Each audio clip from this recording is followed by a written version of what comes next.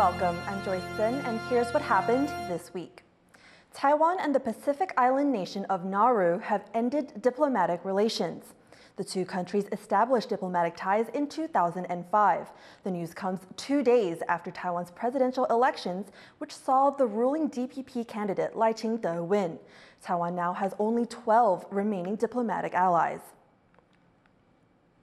To dig deeper into what the loss of relations with Nauru means for Taiwan, I spoke with Yan Zhenshen, a professor of international affairs at National Chengchi University.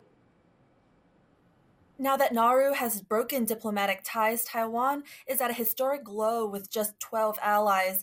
How big of an impact does Nauru leaving have on Taiwan's foreign affairs? Uh, a, a country like Nauru, so small in the Pacific Island, probably can be explained away, but this will not be able to explain the, away the fact that we have lost 10 diplomatic allies since Tsai Ing-wen took office, and since Lai Ching-te already pledged to continue to toy the line of Tsai Ing-wen, I don't think there will be any dialogue or interaction with Beijing, we will continue to lose diplomatic ally. But I didn't expect it comes so fast. In just a few hours later, you learn about Nauru. But this, I think, is what China has worked on before the election, uh, but just waiting for the result of the election so it can, you know, use that to uh, maybe making a statement about uh, you know the, the the reaction of Beijing is a continuation of poaching Taiwan's diplomatic ally since uh, we have elected a DPP government. China has been trying to increase its influence in the Indo Pacific region.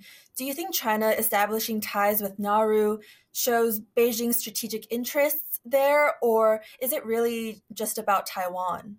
I don't know whether China is trying you know, to make a statement of just like they are trying to uh, uh, get uh, Swaziland or Eswatini to their side, so that have you know a complete sweep of the African continent.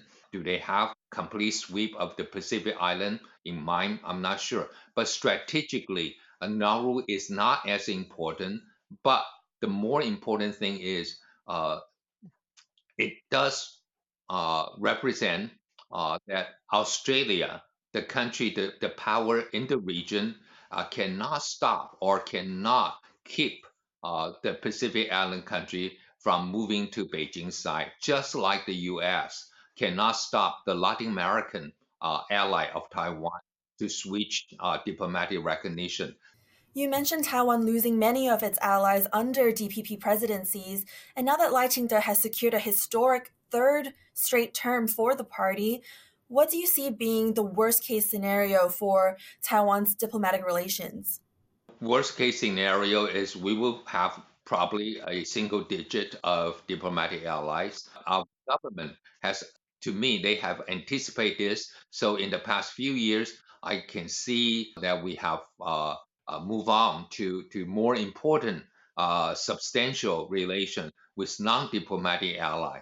But without the diplomatic allies uh, in the Caribbean or Central America, uh, our president cannot even have a transit stop in the U.S. Then we would truly be isolated. That was Yan Zhenshen, International Affairs Professor at National Chengchi University. With the severing of ties, Nauruan students on scholarships in Taiwan now face an uncertain future. Our reporter Reese Ayers went to one of the universities that has several Nauru students to see how the school is responding. Now, when a country severs diplomatic ties with Taiwan, some of the first people to feel the effects of that are students, particularly those studying on scholarships. Now, there are over 50 students from Nauru studying in Taiwan, and 30 of those have scholarships from the Ministry of Foreign Affairs. Now, whether or not those students will be able to continue studying is still yet to be decided. Now, the Ministry of Foreign Affairs has urged any universities in Taiwan with students from Nauru to offer them the care and guidance they need to get through this difficult time. Ming Chuan University has a total of 15 students from Nauru, and this school is going to do everything they can to try and help them. Right now that they, I think it takes time for them to really uh, adjust their steps and think of what they want to do in the future. Most of them, actually all of them are the scholarship students, so they need to, you know, consider how they can continue their schools in Taiwan. Um, sometimes there might be some scholarships, you know, from somewhere else, or hopefully, or you know, their countries might provide some, you know, um, next steps, you know, for them. Yeah, so we will continue. We will just, you know, try to maintain. Uh, I mean, have open communications with the students and then take care of, of them. Now, Taiwan has steadily been losing diplomatic allies over the past few years and decades. The last one to go was Honduras in 2023. Now, when that happened, uh, Honduran students actually got together, they made groups, uh, they got their parents involved, uh, and they petitioned the Honduran government to try and uh, get funding for them to finish their programs in Taiwan if they so wished. Some students actually chose to go over to China to finish their programs there. Now, once the shock for the Nauruan students currently studying in Taiwan has subsided, they will face similar decisions about whether or not they want to continue their studies here if they can, or if they want to go over to China to continue programs there. Eason Chen and Rees for Taiwan Plus. China has officially reacted to the election of the DPP's Lai Ching-te as Taiwan's next president. But as Rosie Greninger explains, some people in China are hopeful for peaceful cross-strait relations. Two days since Taiwan elected Lai Ching-te of the Democratic Progressive Party to rule the nation, China is reaffirming its claim on the country. Avoiding taking aim directly at the DPP, which is taking an unprecedented third term in power, Beijing is warning Taiwan not to push for independence, saying its One China principle is a solid anchor for peace across the Taiwan Strait.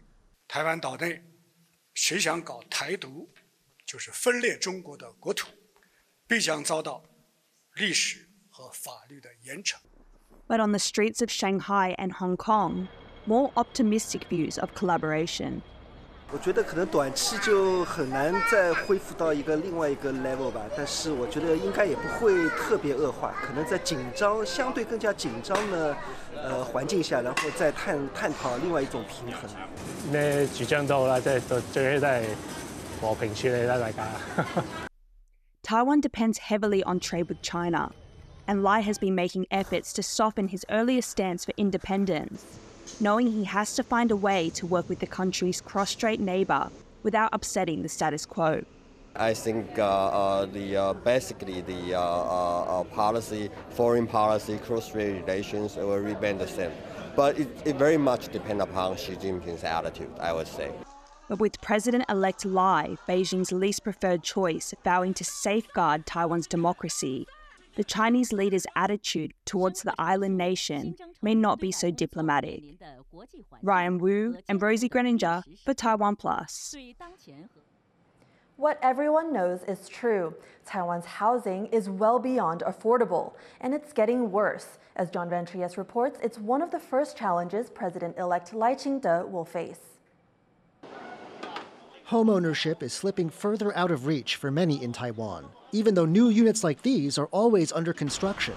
Fresh figures from the Interior Ministry show Taiwan's lack of affordable housing is getting worse. In the third quarter of 2023, homeowners were spending over 42% of their income on mortgage repayments. Go back just two years to the same part of 2021, and that was just 37%. Taiwan has long been an expensive place to buy property. The capital, Taipei, rivals New York in terms of the mortgage burden but prices have reached a point where some find even the idea of buying a home unthinkable. 应该没有考虑这件事情，就租房子就好了。如果在台北市开销，顶多存一万吧，怎么可能付得起头期款？And it's not just Taipei. Just three regions of the country have housing considered affordable. That's to say that mortgages are less than 30% of income. There's the city of Keelung near Taipei, and then the largely rural Chiayi and Pingtung counties in the south.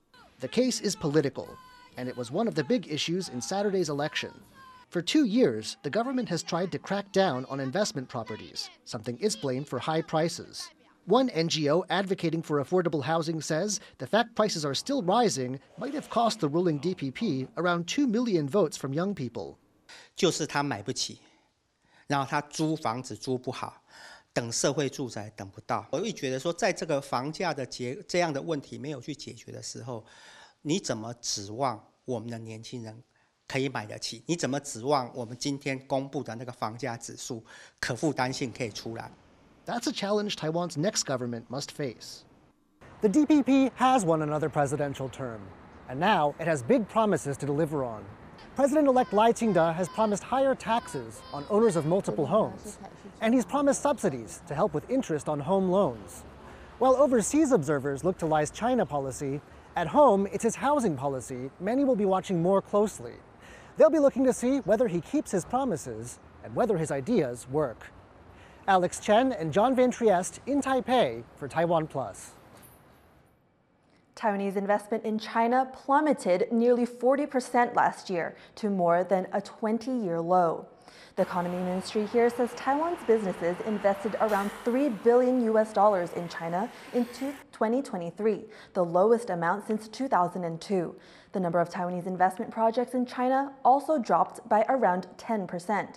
It comes as Taiwan seeks to diversify its trade and investment away from China by developing economic relations with other countries.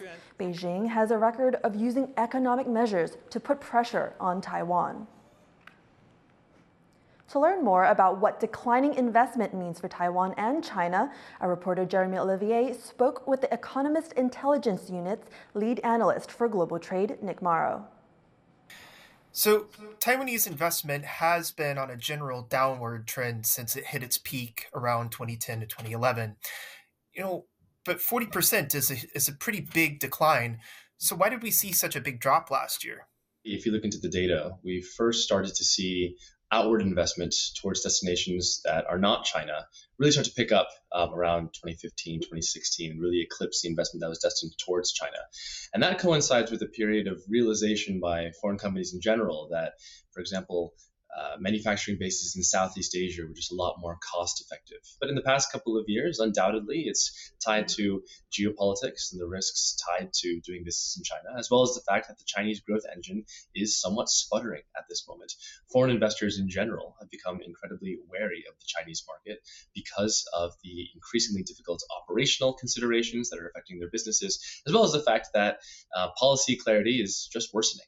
So much of China's 21st century status as the factory of the world has been staked on the success of Taiwanese firms who are invested there.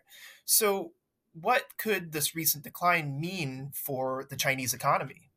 I think maybe there are two things that we can look at in terms of what this means for the Chinese economy. The first is the fact that um, as the economy becomes a lot more closed off, um, this has ramifications for trade ties, ramifications for diplomatic relations, um, cross-strait linkages specifically in general um, are are very much bolstered by the fact that economic linkages between Taiwan and China are, are robust, and that has been a stabilizing force for, for both of those markets. China's industry is still relatively dependent on foreign inputs. Um, even its tech sector is still heavily reliant on Taiwanese chips and other intermediate components. And so, if we start to see a fall off in you know, economic ties, specifically trade, but also investment, then there are questions around you know, where can the Chinese tech sector go from here? Um, there is a strong push to replace Taiwanese products and Taiwanese businesses with, say, Chinese alternatives, but the verdict is still out in terms of how successful China will be able to actually achieve this goal. What could the exodus of um, investment by Taiwanese businesses mean for those those companies? There's a really strong wave of interest right now among Taiwanese businesses in looking further afield. We're seeing a lot of interest right now in Southeast Asia, but also places like Mexico, given the proximity to the US market. I think a lot of Taiwanese investors are kind of waking up to this idea that, as important as the Chinese market has been for their operations over the past couple of decades, it can no longer be the you know one all end all. That was the Economist Intelligence Unit's Nick Marro speaking with Jeremy Olivier. Thank you for watching. Here's what happened. You can visit the Taiwan Plus website or our social media for more stories from Taiwan and around the world. Before we go, we leave you with images of the Nasada Light Festival being held in Thailand's Ratchaburi province. I'm Joyce Tseng. Take care and see you next week.